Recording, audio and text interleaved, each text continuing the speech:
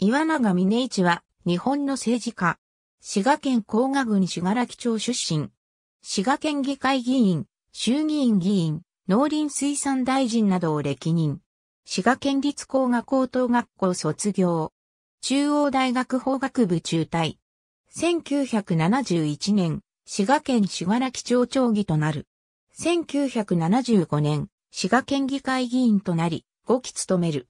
この間、1988年から1989年に、同議会副議長、1990年から1991年に、同議長を務めた。1996年の第41回衆議院議員総選挙で、滋賀3区から無所属で立候補して当選する。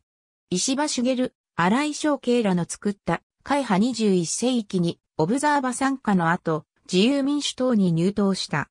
自由民主党では、高知会に属し、加藤の乱では、加藤光一と行動を共にするが、後に堀内派に移る。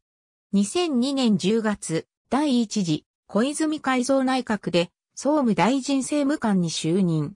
第二次、小泉改造内閣で、農林水産副大臣に就任。2005年8月8日、農林水産大臣の島村義信が、郵政解散に反対して罷免され、首相の小泉純一郎が農水省を兼任。8月11日に岩永が副大臣から昇格する形で農水省に就任。8月19日から3日間、オーストラリアのブリズベンで開かれた後、各国農省会議に出席する。第3次、小泉内閣では、全閣僚再任という形で留任するが、10月31日の内閣改造で離任。農水省在任期間は82日だった。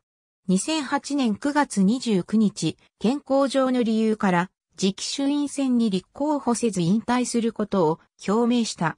2009年3月3日、自民党滋賀県連会長を辞任。後継候補に三男の岩永祐希を擁立する意向だったが、後日の政治資金問題などから出馬自体に追いやられた。その後、公募候補の武藤高成が後継となったもの、民主党の奥村天さんに敗れ落選。